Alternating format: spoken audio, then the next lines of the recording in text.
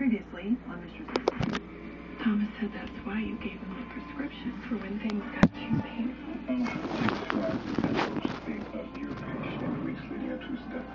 You think that I let Sally walk all over me, and you know what? You're right. You're a good friend, John. Six months ago, I lost my job. But this isn't about me anymore. It's about Scotty. He needs your help. Well, there's a recently developed paternity test that only requires a DNA sample from the mother and potential father.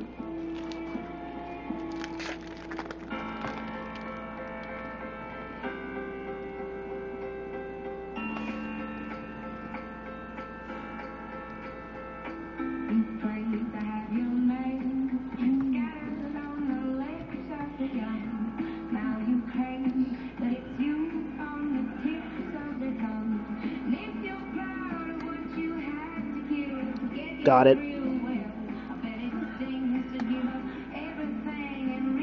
Need it.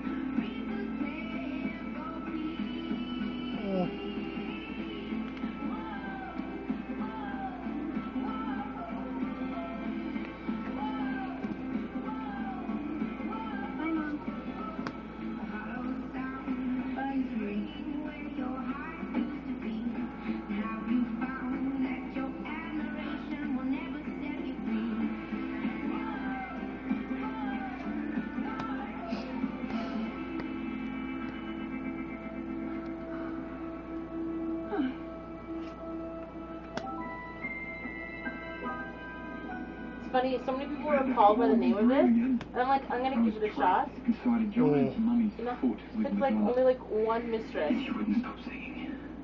I hate that drink. On many levels. Well, I reached over to find you, but you weren't there. Oh, I'm sorry, babe. Just been up since five trying to get through this work.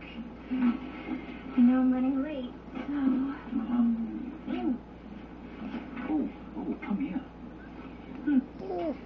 Your breath. Oh no. Is it bad? No, no, no, it's just, it's, it's different. Oh, my breath is different? Yeah, it's weird. You've been chewing on pennies or something? What? Yeah. Okay, now you are No. freaking me out. Come on, kiss me again. Oh. Just once. Uh-huh.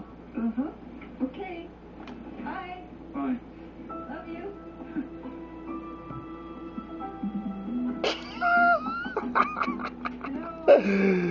I know. Silly. It's out cold. See? That's impressive. Mm-hmm. Well, it looks like you guys had a lot of fun last night.